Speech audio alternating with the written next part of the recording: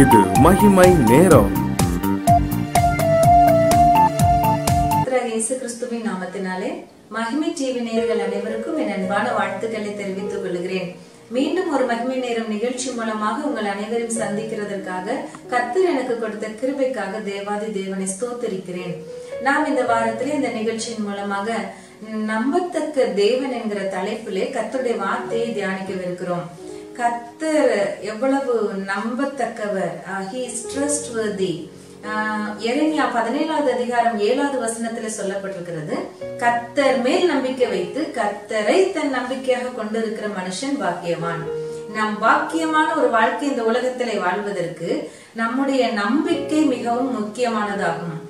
நம்பிக்கை யார் மேல எத எதன் மேலங்கிறது ரொம்ப ரொம்ப முக்கியம் பாருங்க கர்த்தரை நம்பிக்கையாக கொண்டிருக்கிற மனுஷன் கர்த்தர் மேல் நம்பிக்கை வைக்கணுமா கர்த்தரையே நம்பிக்கையாக கொண்டிருக்கணுமா அப்படிப்பட்ட மனுஷன் பாக்கியவான் என்று சொல்லி எருமையா பதினேழாவது அதிகாரம் ஏழாவது வசனத்திலே சொல்லப்பட்டிருக்கிறது இந்த வார்த்தை குறித்து நாம் தியானிக்கும் பொழுது ஒன்று குருந்தியர் பதிமூன்றாவது அதிகாரம் பதிமூன்றாவது வசனத்தை நாம்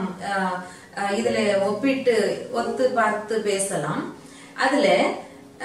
இப்பொழுது நம்பிக்கை விசுவாசம் அன்பு இம்மூன்றும் நிலைத்திருக்கிறது இப்பொழுது விசுவாசம் நம்பிக்கை அன்பு இம்மூன்றும் நிலைத்திருக்கிறது இவைகளில் அன்பே பெரியது என்று எழுதப்பட்டிருக்கிறது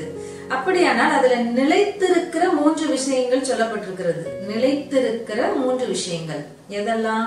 விசுவாசம் நம்பிக்கை அன்பு இந்த மூன்றும் நிலைத்திருக்கிறது என்று சொல்லப்பட்டிருக்கிறது இவைகள்லாம் அன்பு பெரிதா இருக்கலாம் ஆனா மூன்றும் நிலைத்திருக்கிறது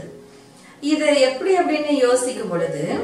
நமக்கு கத்தர் மேல் நம்பிக்கை இருக்கணும் கத்தரை தன் நம்பிக்கையாக கொண்டிருக்கிற மனுஷன்னு வாக்கியவான் என்று எழுதப்பட்டிருக்கிறது ஏன் அந்த நம்பிக்கை அப்படிங்கிறது முக்கியப்படுத்தப்பட்டிருக்கிறது அப்படின்னா நம்ம நம்பிக்கை வந்து நிலைத்திருக்கிறதா இருக்கிறது கால காலத்துக்கும் இந்த நம்பிக்கை நிலைத்திருக்கிறது எப்படி சொல்லலாம் நம்ம ஒரு பேசும்போதே சொல்லுவோம் எப்படி இருக்கீங்க அப்படின்னா நல்லா இருக்கிறோம்னு சொல்லுவோம் ஏதோ ஒரு நம்பிக்கையில வாழ்க்கை ஓடிக்கிட்டு இருக்கு அப்படின்னு சொல்லுவோம் நம்பிக்கை தான் எல்லாம் நாளைய பொழுது நன்றாக விடியும்ங்கிறது ஒருங்கிற நம்பிக்கையில நான் ஓடிட்டு இருக்கிறேன் அப்படின்னு சொல்றவங்கள கேட்டிருக்கிறோம் பார்த்திருக்கிறோம் அப்போ நம்பிக்கைங்கிறது வாழ்க்கையில ரொம்ப முக்கியம் பாருங்க அந்த நம்பிக்கை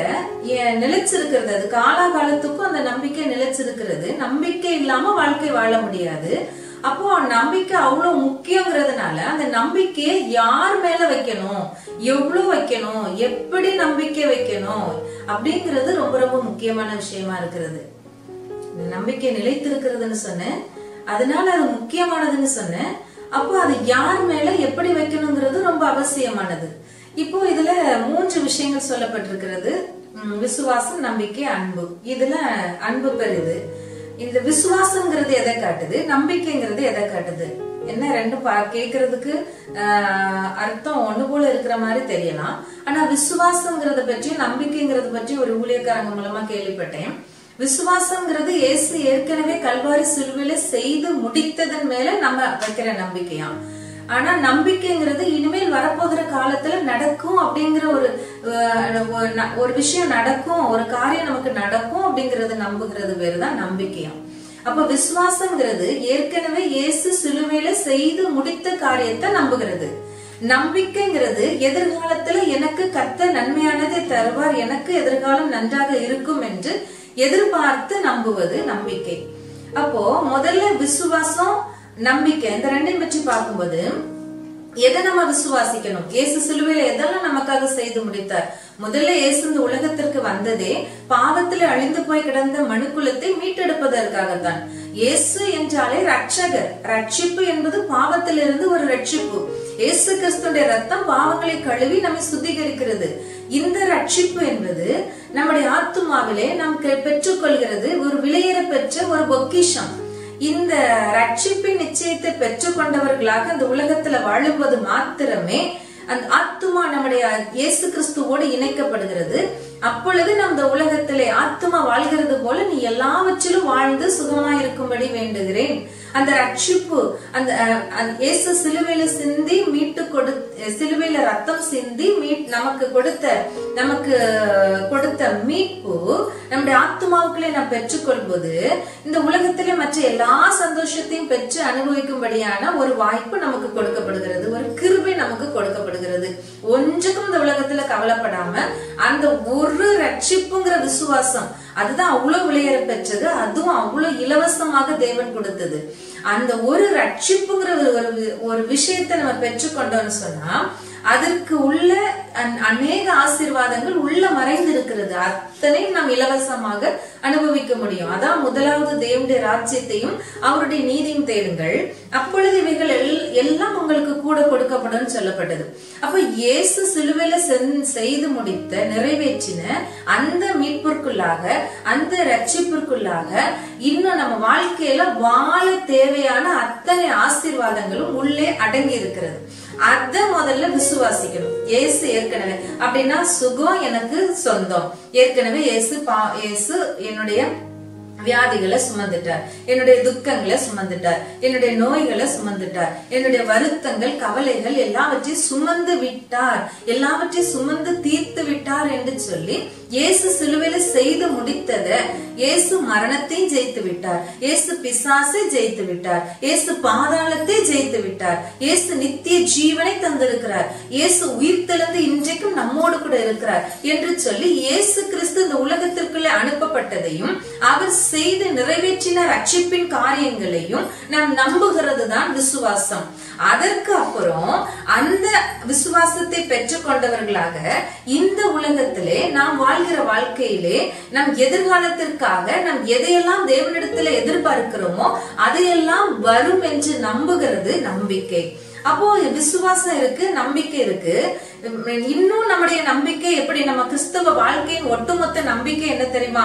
ஒரு நாள் நம்முடைய ஜீவன் பிரியும் போது அல்லது கத்தருடைய வருகை வரும் பொழுது ஒன்று அவருடைய வருகை நாம் சந்திக்கும் அல்லது கத்தருடைய வருகை தாமதிக்குமானால் மறுநாள் நம்மை சந்திக்கலாம் ஒருவேளை இந்த ரெண்டு சந்திப்பிலும் இதுல எது நடைபெற்றாலும் சரி நாம் கத்தரோடு கூட என்றென்றைக்கும் இருப்போம் நித்திய ரட்சிப்பை பெற்றுக்கொள்வோம் என்கிறது தான் கிறிஸ்தவ உலகத்தின் கிறிஸ்தவ வாழ்க்கையின் மிகப்பெரிய நம்பிக்கை இந்த நம்பிக்கை இந்த விசுவாசம் ரெண்டுமே தேவன் நம்ம மேல வச்ச அன்புனால உருவாக்கப்பட்டது அதாவது விசுவாசமாகிய ஏற்கனவே தேவன் நமக்காக சம்பாதித்து கொடுத்த ரட்சிப்பு நம்பிக்கையாகிய இனிமேல் நாம் சுதந்திரித்துக் கொள்ள போகிற பரலோக வாழ்க்கையாகிய நித்திய ரட்சிப்பு இந்த ரெண்டுமே தேவன் நம்மையில வைத்து அல்லவிட முடியாத அன்பினாலே கொடுக்கப்பட்டது அதனாலதான் அதுல சொல்லப்பட்டிருக்கிறது இவை இப்பொழுது இந்த மூன்று நிலைத்திருக்கிறது ஆனால் இவைகளில் அன்பே பெரியது என்று சொல்லி இப்பேற்பட்ட பெற்ற அன்பதான் அந்த ஒன்னாவது வசனத்துல சொல்லப்பட்டிருக்கிறது நான் மலைகளை பெருக்கத்தக்க விசுவாசம் உள்ளவனா இருந்தாலும் என்ன எனக்கு என்ன வேணுங்கிற நம்பிக்கையில நான் சிறந்தவளா இருந்தாலும் அன்பு எனக்கு இராவிட்டால் ஒன்றுமில்லை என்று சொல்லி தேவனுடைய அன்பு அவ்வளவு விளையேற பெற்றது அதே அன்பு பசு தாவியானவர் மூலமாக நமக்குள்ளே கொடுக்கப்படுகிறது ஆகவே அன்பு பெரியது என்று சொல்லப்பட்டிருக்கிறது அப்போ இன்னைக்கு நம்ம எதை கற்றுக்கொள்றோம்னு சொன்னா விசுவாசம் நம்பிக்கை அன்பு இது நிலைத்திருக்கிற மூன்று விஷயங்கள்ல நம்பிக்கை உள்ளவர் வருது அப்போ நம்பிக்கைங்கிறது இயேசு கிறிஸ்து நமக்காக செய்து கொடுத்த ரட்சிப்பின் மேல் நம்பிக்கை உள்ளவர்களாய் வரும் காலத்தை குறித்த நிச்சயத்தையும் நம்பிக்கை உடையவர்களாய் முழு நம்பிக்கையும் கத்தர் மேல் வைக்கணும் ஏன்னா கத்தர் மேல் நம்பிக்கை வைக்கிறவங்க தான் பாக்கியவான் சொல்லி வசனம் எழுதப்பட்டிருக்கிறது அப்போ இந்த நம்பிக்கை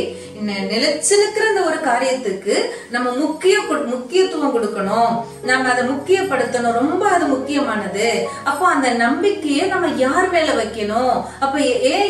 ஏசு கிறிஸ்து மேல நம் நம்பிக்கை உடையவர்களா இருக்கணும் அப்படின்னு சொல்லிட்டுலாம் நாம் தொடர்ந்து வருகிற வாரங்கள்ல நாம் தியானிக்க போகிறோம் நம்பிக்கை ரொம்ப முக்கியம் அது நிலைத்திருக்கிறது அந்த நம்பிக்கை கத்தர் மேல் வைக்கிறது ரொம்ப முக்கியம் ஏன் கர்த்தரை நம்பணும் எப்படி நம்பணும் எதற்காக எல்லாம் நம்பணும் அப்படி நம்புகிறவங்க எப்படி எல்லாம் இருப்பாங்கன்னு சொல்லி வருகிற நாட்களை நாம் தியானிக்க போகிறோம் நம் கண்களை மூடி ஜபிக்கலாம்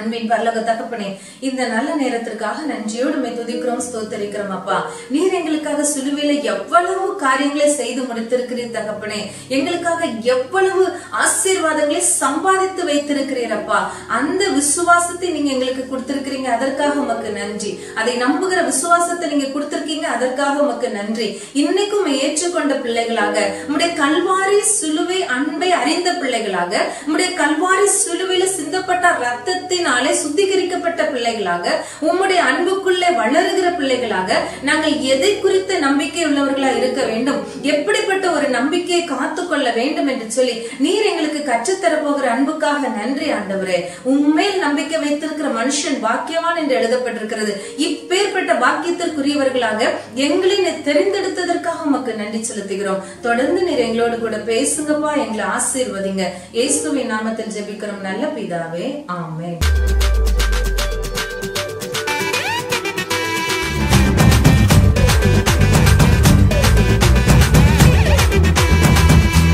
Magimay, magimay